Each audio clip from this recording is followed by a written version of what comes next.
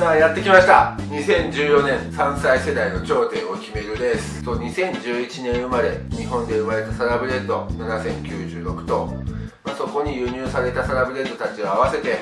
7123頭の頂点を決める戦い。と日本ダービーこの日本ダービー本命馬ワンオンリー皐月賞と一緒なんですけど、まあ、そのね皐月賞残念ながらね、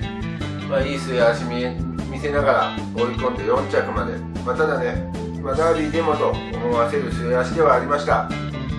まあ、そして、まあね、他の馬たち距離が伸びてどうかなと思わせる馬が多い中で、まあ、そうとは言わせない血統背景があるという意味でも、まあ、ダービーでも変わらず本命を打ってもいいんじゃないかなということで今回も狙ってみたいと思います、まあ、そして対抗がトゥザワールド、まあ、この馬はねあの対抗に落とした理由が、まあ、キャロットの募集馬でね俺出資してねえやっていうところなんですけど、まあ、どっちにしろ軸にはしますからね、まあ、そしてねキングカメハメハの子っていうことで、まあ、ダービー得意な血統、まあ、サンデーサイエンスの子がね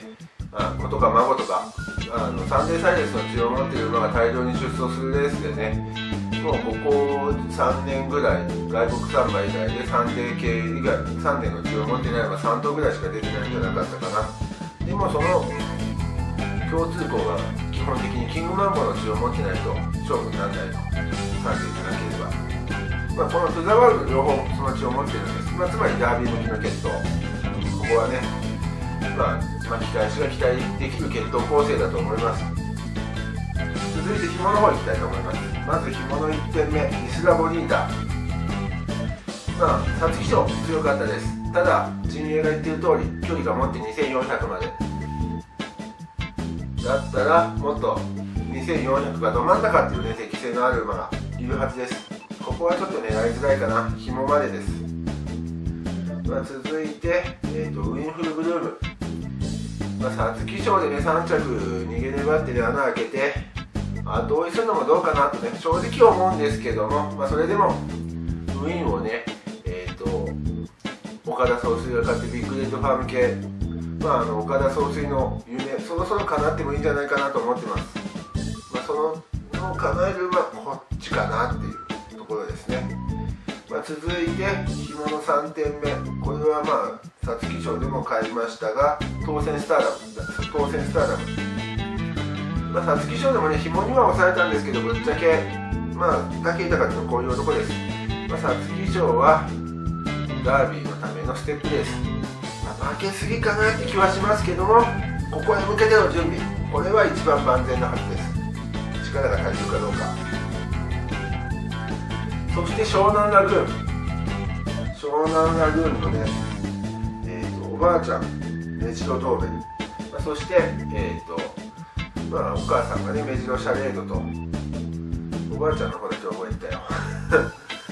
まあメジロドーベルの孫がそうメジロの血筋がついにダービーを。メジロのダービー以来ダービーに手が届かなかったと。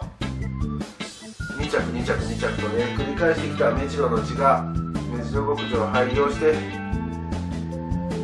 この年になってようやくこの目白のね悲願が達成されるのかと。北野さん廃業までに間に合わなかったけど、まあ、ちょうどね廃業した年に、えー、と初めてね決闘表にめダービー馬の決闘表に目白の名前が刻まれたんですね。というテープで母の父目白マックイーンそしてついに目白の血筋がダービーを勝ってくれたらいいかと。まあ、でもこの検討では2着が似合うかな。青葉生姜だし。青葉生姜もね2着多いですね、まあ、続いて、えーと、紐のもう1点、えーと、青葉賞2着のねワールドインパクト。まあ青葉賞ね本当はこっちの馬の方が強かったかな、まあ、でも手堅く点権利を取りにね早仕掛けていきましてまあ手堅く2着。勝てば勝とうと思って湘南軍のアクシデルは勝てるレースだったとも思います。まあ、この青葉賞組はどっちかは強いんじゃないかなということで狙ってみましてひも5点、まあ、以上3点単2等軸ひも5点、まあ、マルチで買って30点1300円。でまああとそうだな湘南の軍の応援馬券でも買って1万円コースかな、まあ、そんな感じでやってみようと思っています。以上ハッチーでした。